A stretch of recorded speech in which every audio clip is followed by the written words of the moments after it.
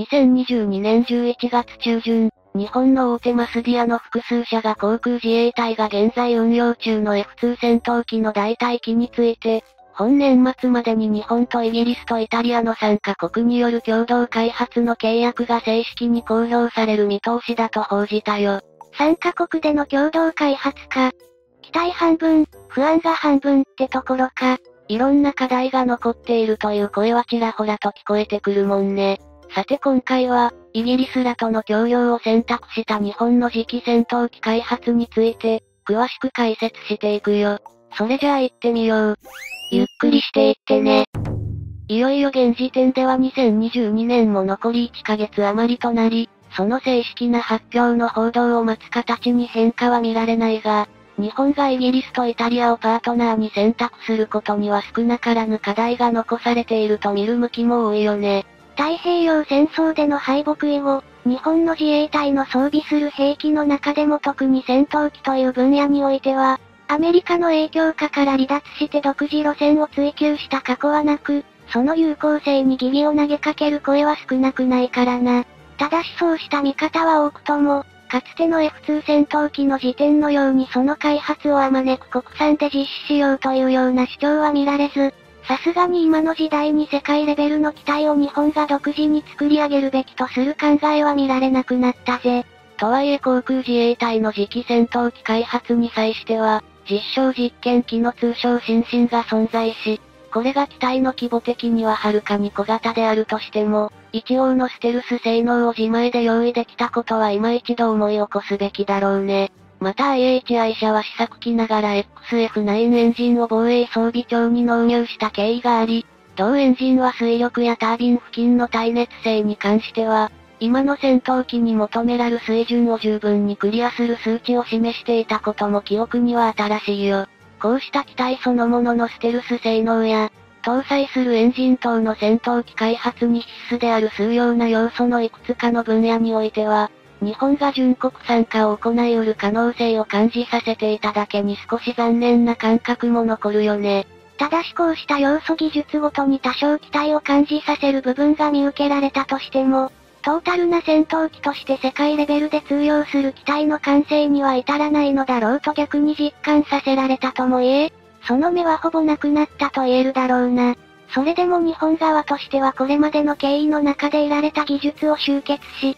日本の防衛産業のウスタル三菱重工業者にプロジェクトを統括させ、その参加に各分野の国産メーカーを置く布陣で次期戦闘機開発を迎えると目されていたぜ。そこに今の西側諸国の第5世代戦闘機としては唯一の選択肢となっている F35 ライトニング2。これを要するアメリカのロッキード・マーチン社の技術支援を仰ぎ、次世代戦闘機の開発を進める形が最も手堅いとみなされてきたよね。そうした動きは戦闘機に止まらず、戦後大半の兵器システムをアメリカに準じたもので揃えている自衛隊にとってはリスクの少ない方法であり、両国の軍事的な連携を図る上でも必然と言える流れだったと思えるからな。しかし当のアメリカやロッキード・マーチン社は、航空自衛隊が推進している次期戦闘機について、自国内で行っている、NGAD ニュージェネレーションエアードミナンスとのギャップが大きすぎると判断したと言われているんだ。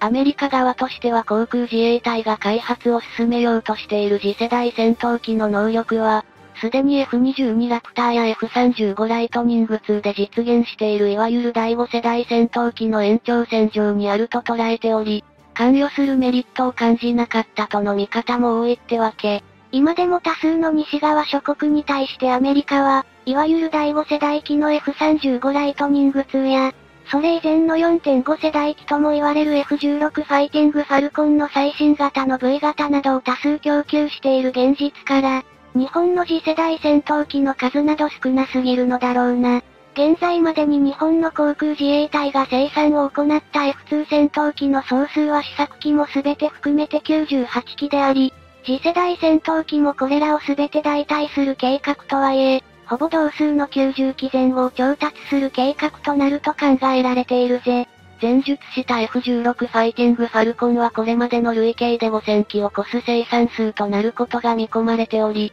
これに比すれば日本の次世代戦闘機の数などわずか2%にも満たない少なさであることは事実だもんね。こうしたボリュームという工業製品の生産にあたっての効率化という側面から見た場合の重要な点に加えて、アメリカは NGAD ニュージェネレーションエアドミナンスにて、新たな概念を模索していることも影響していると思われるよ。未だアメリカ側から具体的な NGAD ニュージェネレーションエアドミナンスの開発状況は発表されてはいないもの。現時点で最新鋭の戦闘機たる F35 ライトニング2を含め、その位置づけは大きく変化すると目されているんだ。最も大きな違いとしては、近年の F16 ファイティングファルコンや、F15 イーグル等の当初はいわゆる第4世代と言われた戦闘機たちが、搭載するアビオニクスや並走システムの乾燥によって近代化を進めるような手法は採用しないとされる点だね。今やこうした戦闘機たちは繰り返される近代化改修によって、リリース時とは比較にならない能力の向上を続けてはいるものの、40年以上にもなる長期的なスパンで運用を行うことはメンテナンスコストを膨大に増加させているからな。そのためアメリカでは NGAD ニュージェネレーションエアードミナンスについては、もっと短いスパンで新型機と入れ替えを行うことを前提としメンテナンスコストを低減させることで、トータルのコストを下げる手法を目標にしているとされるよ。こうした戦闘機開発をめぐるコンセプトの一大転換をアメリカは起としていると考えて良さそうだけど、現行の F35 ライトニング2を見ても電子機器の絶えざるアップデートで、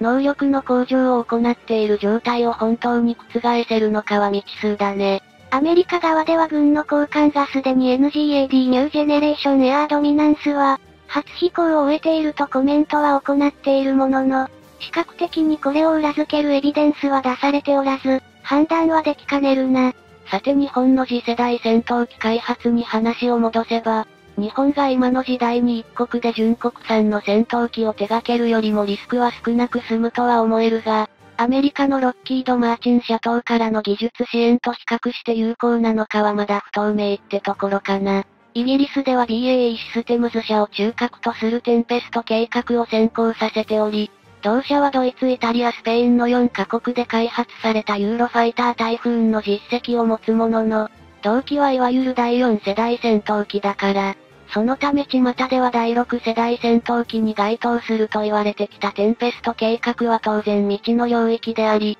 その開発もこれまでのところでは順調というよりも、むしろ難航していたというのが進捗を表する正直な感想だね。このテンペスト計画には BAE システムズ社以外にも、機関部にはロールスロイス社、レーダセンサ類にはイタリアのレオナルド社のイギリス法人が参画するなど、ヨーロッパを代表するプロジェクトであることは間違いないんだがな。現時点では日本の次世代戦闘機の開発が、このテンペスト計画の一部として統合されることになるのかも含め未確定事項が多いが、おおむねイギリスサイドでは日本と戦闘機開発との協業を歓迎する雰囲気が統一しているぜ。しかしそこにはまがいなりもまだ世界第2位の経済力を持つ日本に対し、そこから拠出されるであろう多額な開発費負担を当て込んでの政治的な判断との見方も多く、手放しで日本が喜べるか否かは判然としていないかな。それじゃあ今回はこの辺で、よかったら、チャンネル登録してね。